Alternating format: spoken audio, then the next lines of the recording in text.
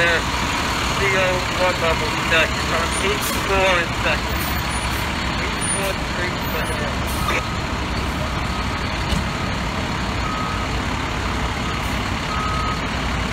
Thank you.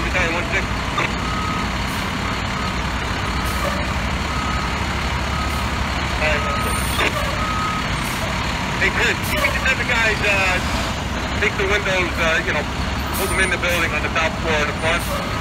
Just start glass. Just put it in the floor, floor, and then the guys